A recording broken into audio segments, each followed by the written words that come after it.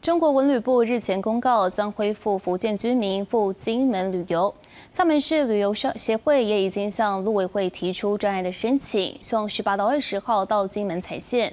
对此，陆委会表示审查正在进行中。不过，陆委会也指出了，两岸的观光障碍在于中方目前只小部分开放游客赴金马，双方的观光逆差相当大。重现八寸流炮发射过程，不少人到金门游玩，一定会到访狮山炮阵地，观赏具有战地风情的炮操表演。不过镜头转到街头，看得出游客零零星星。金门业者引颈期盼观光复苏，随着中国文旅部日前公告将恢复福建居民赴京旅游，似乎引来曙光。我们都乐观其成，他希望大陆的居民赶快到金门来，全方面的呃准备都必须做好的。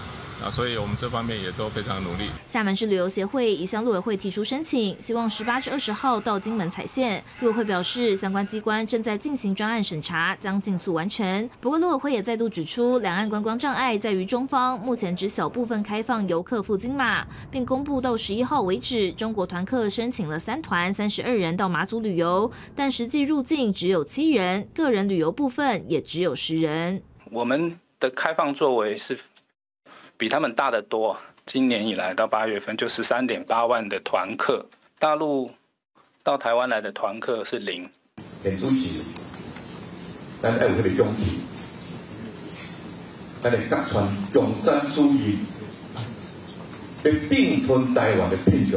赖总统分享重读台湾人民自救运动宣言心得，对中共不假辞色。前一天，他也在民进党中常会上表示，中国恢复台湾文旦进口，但只限特定城市，且没有经由双方合作的检疫平台，是利用特殊化的经贸往来分化台湾，不利于建立台海往来互信。先禁止，再私会，再进行呃区别对待啊，进一步的呃分化统战。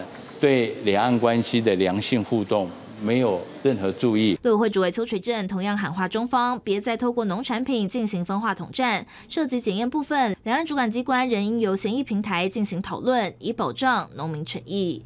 记者陈昌伟、蒋龙祥台报道。